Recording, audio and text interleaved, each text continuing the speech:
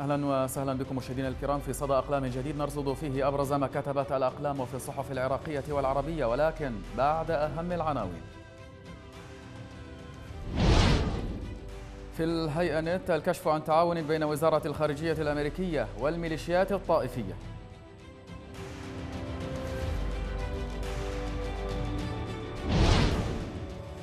في المدى الدعوة يسعى لقانون انتخابي ينهي التنافس بين العباد والمالكي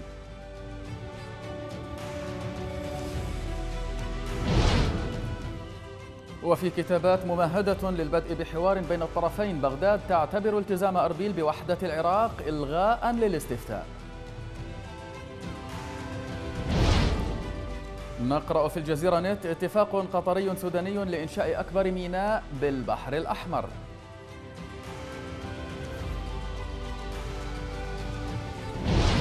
في العرب الجديد سلو ينشق عن قسد وخسائر كبيرة للنظام في الغوطة الشرقية.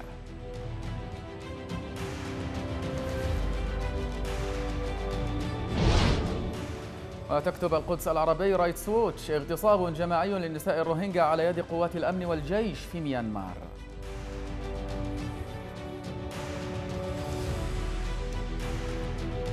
أما في الحياة مجلس الأمن يصوت على تمديد تحقيق الكيماوي في سوريا.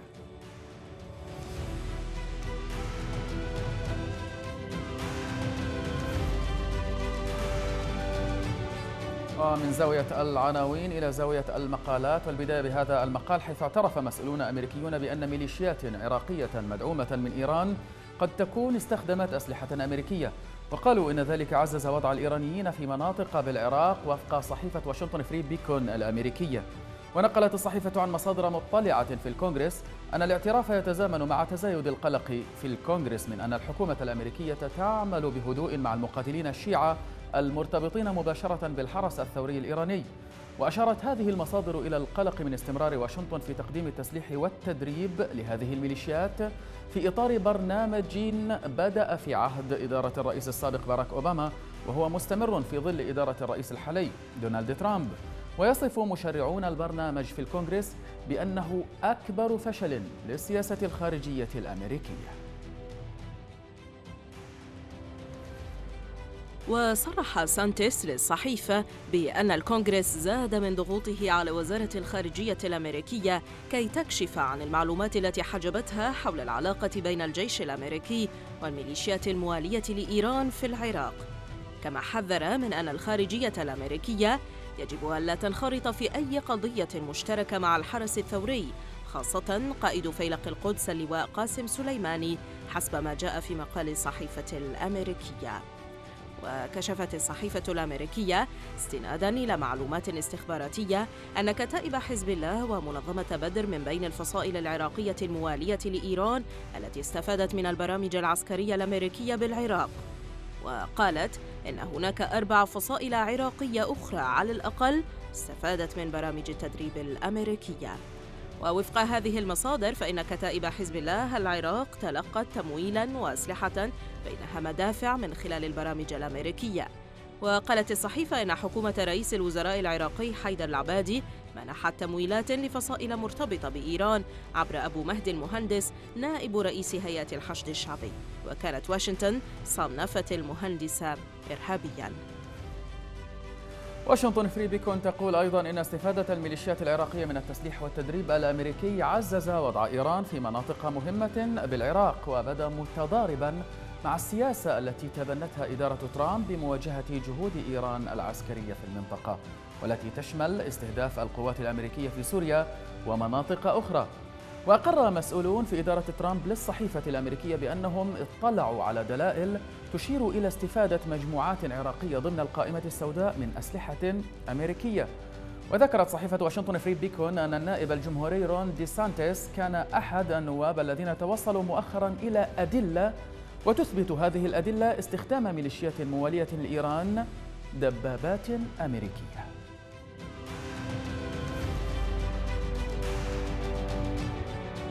لا معنى لمناشدات حيدر العبادي للكتل النيابية والأطراف السياسية عدم استخدام الحشد والأجهزة الأمنية في الانتخابات لأن المشهد على الأرض في المناطق السنية يؤكد أنها على موعد جديد مع أعمال عنف. كما كتب هارون محمد في صحيفة العرب اللندنية الذي يستهلها بالقول يخطئ من يعتقد أن فصائل الحشد الشيعي ستسحب مسلحيها من حزام بغداد أو ستخلي مقراتها في محافظات الموصل وصلاح الدين والأنبار وديالا وكركوك أيضا قبل إجراء الانتخابات البرلمانية المقبلة التي يصر حزب الدعوة وزعيمه نور المالكي على تنظيمها في مايو 2018 بمن يحضر وبتحريض إيراني مكشوف. نتابع. إن الأوضاع في أحياء غربي الموصل التي سلمت من التدمير الذي طال المدينة في المعارك مع تنظيم داعش تنذر بمواجهات بين السكان وفصائل الحشد التي استولت على مبان حكومية وأهلية وافتتحت مقرات وأنشأت نقاط تفتيش فيها مع رفع رايات ولافتات طائفية ونصب مكبرات صوت تذيع على مدار الساعة لطميات وخرافات. والأمر نفسه يجري الآن في كركوك بعد إنهاء الاحتلال الكردي لها وانسحاب قوات البشمركة منها. فقد زحفت الميليشيات الشيعية إلى أحيائها العربية والتركمانية واتخذت مقرات ومكاتب فيها وبدأت تمارس أنشطتها الطائفية لتعيد إلى أذهان سكانها الأصليين تجاوزات الأحزاب الكردية العنصرية في الهيمنة والتسلط. ورغم النفي الحكومي لمشاركة ميليشيات الحشد في معارك قضاء القائم المقابل لمدينة البوكمال السورية إلا أن الصور والأفلام التي عرضتها أعداد من الفصائل تبين أنها شاركت فيها ونشرت وحدات منها في الأراضي السورية. في حين انتشرت وحدات أخرى على طول الطريق البري الدولي الرابط بين العراق والأردن. ويضيف الكاتب أما الأوضاع في محافظتي صلاح الدين وديالى وشمال بابل فهي تسير من سيء إلى أسوأ. ولا تستطيع السلطات الحكومية فيها توفير الأمن والخدمات. وفي اجتماع عقد في بعقوبة مركز محافظة ديالى ترأسه هادي العامري في مطلع الشهر الحالي وحضره عدد من شيوخ العشائر الشيعية وهي أقلية في المحافظة. كان محور النقاش فيه أن يفوز عشرة نواب شيعة في الانتخابات المقبلة من أصل 14 نائبا هي حصة المحافظة وترك مقعدين أو ترك مقعدين لسنة الحشد أي الموالين للميليشيات. ويختم الكاتب وبعد كل هذه الإجراءات القمعية والسياسات القهرية يريد حزب الدعوة وفصائل الحشد والولي الفقيه الإيراني يريدون جميعا انتخابات تسودها الشفافية والنزاهة.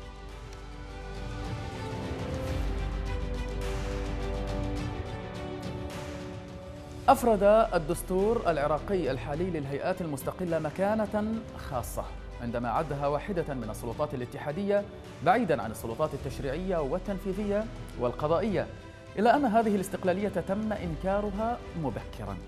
ولم تستطع البنى الذهنية للنخب السياسية العراقية أن تتسق مع هذه الفكرة. ففكرة السلطة في ذهن هذه النخب تشتمل ضمنا فكرة الهيمنة. هكذا انتهينا إلى محاولات إنكار استقلالية هذه الهيئات عمليا. ثم حدث تطور من نوع آخر حين انتهت محاولات الهيمنة إلى وأد استقلالية هذه الهيئات مع قرار المحكمة الاتحادية رقم 88 لسنة 2011 الذي جرد هذه الهيئات المستقلة من صفة الاستقلالية وجعلها تابعة للسلطة التنفيذية مع الإبقاء على صفة المستقلة كما جاء في مقالة للكاتب يحيى الكبيسي نشرتها له صحيفة القدس العربي. ولن يختلف الأمر كثيرا مع الهيئات المستقلة المفترضة الأخرى فهيئة الاتصالات والإعلام التي ما زال قانونها رقم 65 لسنة 2004 يتحدث عن الاستقلال بوصفه مفتاح تحقيق الفعالية في تنظيم وتعزيز الأسواق التنافسية. وإن هذا الاستقلال يعني ضرورة عدم تعرضها للتدخل أو الضغط السياسي غير الملائم من أي حزب سياسي. تحولت في الواقع إلى هيئة حزبية بتواطؤ جماعي وينطبق الأمر نفسه على شبكة الإعلام العراقي الذي يكشف قانونها تحولا صريحا في ذهنية المشرع العراقي هذه المرة. فقانون الشبكة رقم 26 لسنة 2015 الذي تحدث عن شبكة تعمل طبقا لمبادئ الاستقلالية أطاح هو نفسه بهذا المبدأ عندما اشترط في أعضاء مجلس الأمناء ورئيسها ألا يمارس أي منهم أي نشاط حزبي أثناء عمله أي أن شرط الاستقلالية لم يعد شرطا مسبقا للترشيح بل شرطا لاحقا به. هكذا تحولت الشبكة هي الأخرى إلى هيئة حزبية. اليوم تتقدم المحكمة الاتحادية العليا بخطوة إضافية ليس باتجاه إنكار استقلالية هذه الهيئات المستقلة التي قررها الدستور العراقي كما فعلت في قرارها السابق بل باتجاه التدليس الصريح على فكرة الاستقلالية التي وردت في القوانين المنظمة لعمل هذه الهيئات. إن مجرد ترشيح قيادي في أحد الأحزاب ذات الخصومة التاريخية الطويلة مع حزب البعث والممثل لذلك الحزب في قضية ما زالت مطروحة أمام القضاء حينها بهذا المنصب إنما يكرس حقيقة واحدة. ألا وهي أن فكرة السلطة في ذهن النخب الحاكمة لا تعني شيئا سوى مزيد من السيطرة على الدولة ومؤسساتها بالكامل.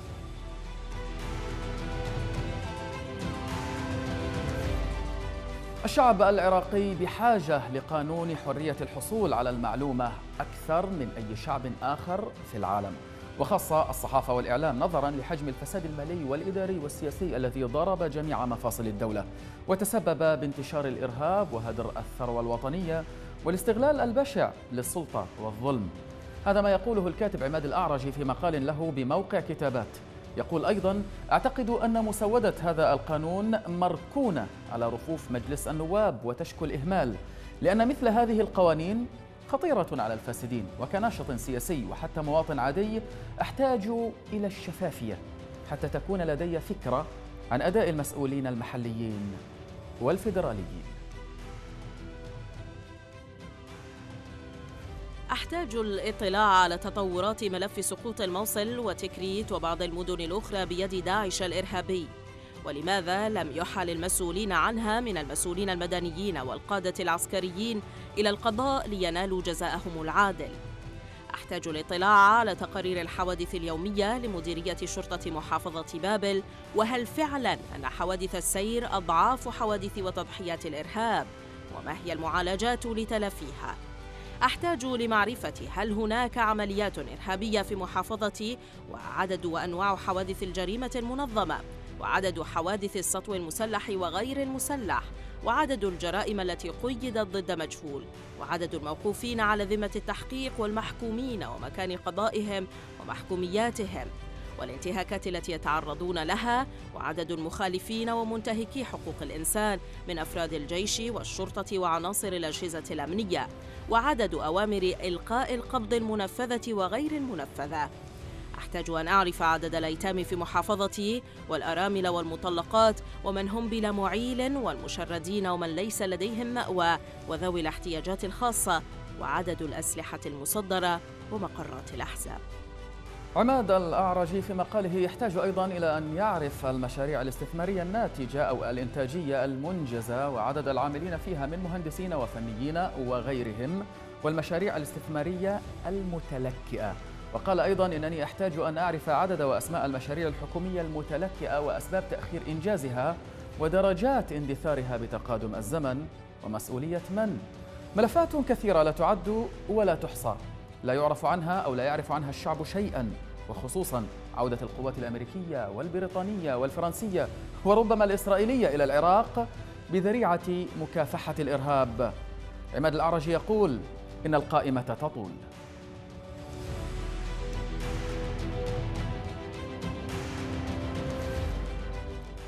لا يؤمن جانب النظام السوري أبدا. قلنا أو لا يأمن. قلنا ذلك مرارا إلى منتسبي حزب الاتحاد الديمقراطي الكردي في سوريا وزدنا على ذلك رهانكم خاسر.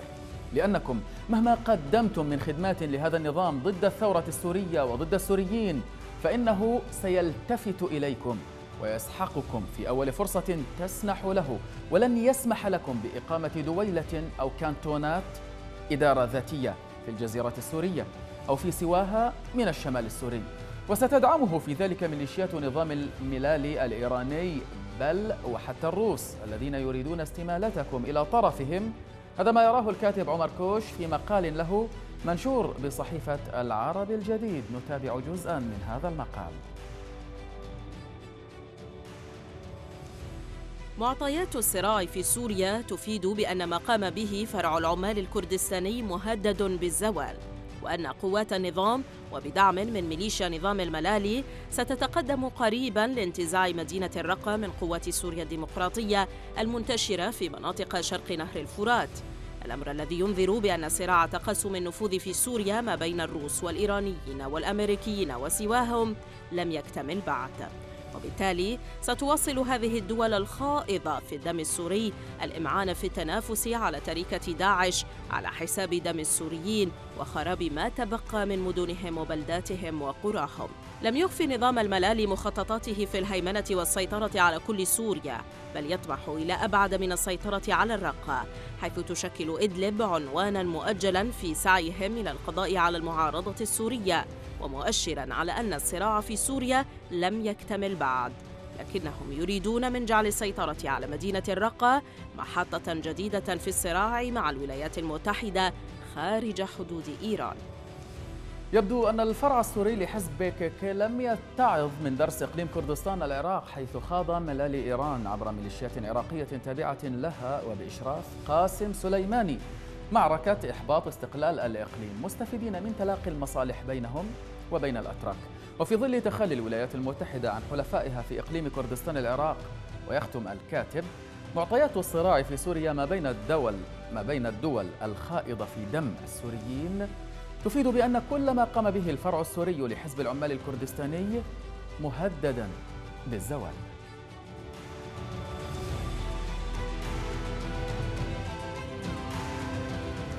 يبدو أن الجهود التي بذلتها الولايات المتحدة في الأشهر الماضية في المفاوضات مع روسيا من أجل تخفيض العنف وصلت إلى طريق مسدود.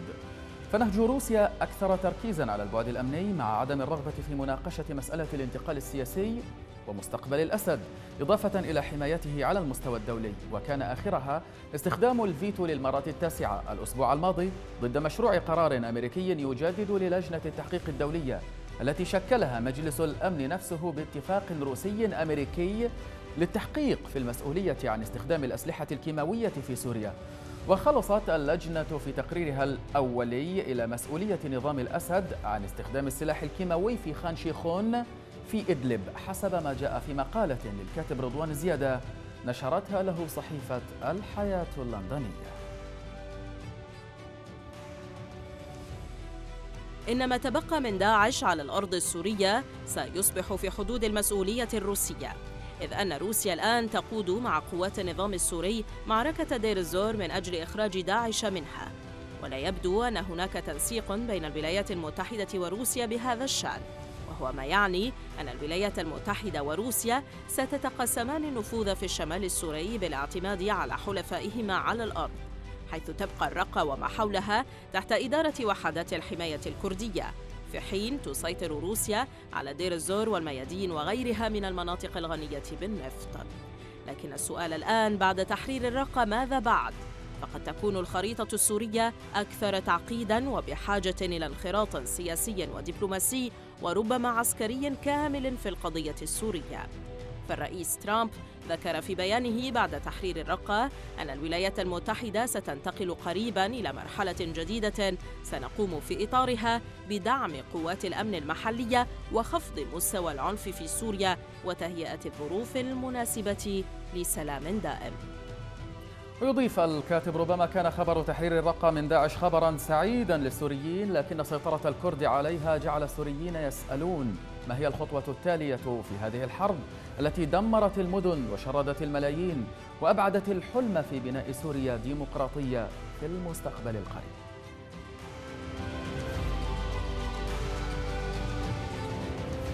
آه من زاوية المقالات الحرة إلى زاوية الأخبار المنوعة واخترنا لكم منها هذا الخبر.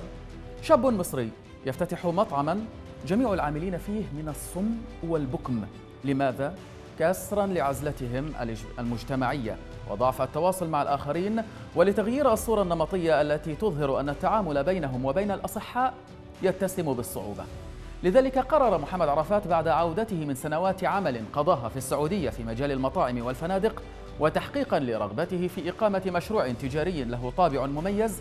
قرر أن يكون فريق العاملين من الصم والبكم لكسر حاجز عزلتهم المجتمعية وضعف التواصل مع الآخرين وتأهيلهم نفسيا للتعامل بشكل طبيعي وسوي مع الزبائن. ويضم طاقم العمل 16 شخصا لا يستطيع جميعهم الكلام إلا أربعة أشخاص فقط. هم متلقو الطلبات عبر الهاتف أو كما يسمونه الكول سنتر ومسؤول خدمة التوصيل ديليفري ومدير لمطعم فترتي الصباح والمساء. إلى جانب مالك المطعم.